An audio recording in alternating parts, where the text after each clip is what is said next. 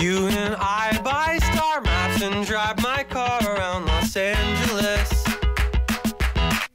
Bonjour les filles, vous pensez que l'on a rendez-vous avec Lucette la crémière, mais non, c'est avec Amandine, une chef d'un grand palace parisien. Alors une journée avec une fortiche de la cuisine, c'est maintenant.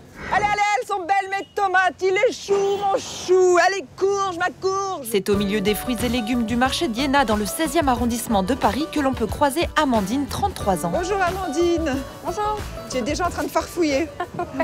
Qu'est-ce que tu trouves là Voilà, je suis en train de choisir mes, mes petites courgettes. Là, je prends vraiment que les, les petites et, et j'aime bien quand elles sont un petit peu tordues.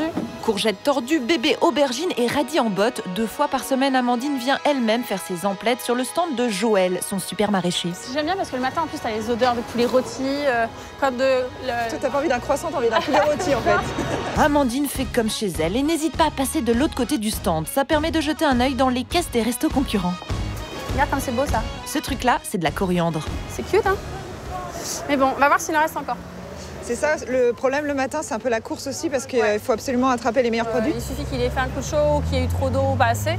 Et là, tu vas avoir une production qui va se resserrer et puis tout le monde veut la même chose. Pour les courgettes, on a géré, mais on a failli faire une croix sur la coriandre quand soudain, J'ai réussi à en dégoter une.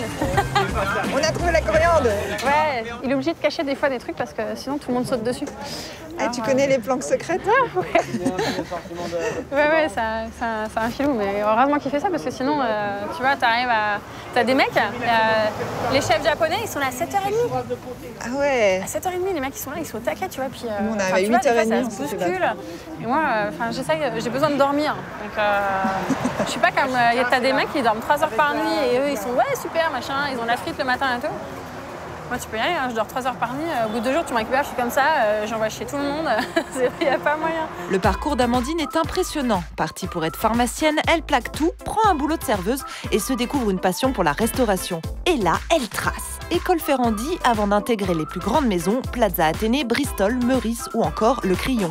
Amandine grimpe les échelons pour être nommée chef en mars dernier des cuisines de l'hôtel Raphaël. Tu viens avec moi? Ah bah oui Mais vous non On se transforme en grand chef et on file en cuisine. C'est là, bonjour Horaire contraignant et métier très physique, beaucoup de filles se découragent avant d'arriver à la tête d'une brigade. Est-ce que c'est difficile, comme c'est un univers masculin, de faire son trou dans la cuisine quand on est une femme? C'est c'est difficile comme dans tous les métiers où tu as des femmes qui arrivent sur les hauts des pyramides euh, hiérarchiques. Quoi. Donc en cuisine, t'es comment? T'es t'es assez ferme? Oui, Ah ouais? Très autoritaire? Non, je- mais après c'est ma nature. Enfin, tu vois, moi j'ai toujours été euh, assez fonceuse, je suis quelqu'un de très directif, euh, très, euh, euh, très direct euh, quand, quand je veux quelque chose. Et c'est vrai que euh, quelque part ce milieu-là me va bien pour ça. Il est midi, le coup de feu commence. Euh, ça passe au bar,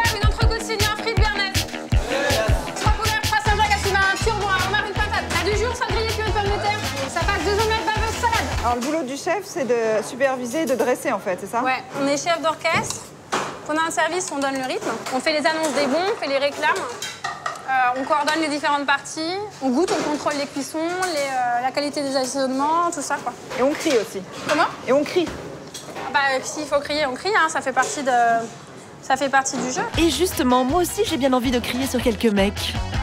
Ça passe deux couverts, deux œufs pochés à suivre deux collins Oui, enfin, Amandine a préféré me confier une autre tâche tout aussi stratégique. Je donne juste un petit coup de main et puis je rentre chez moi. Allez, à la prochaine Oh, j'adore, je ne m'en lasse pas. Salut les filles I drive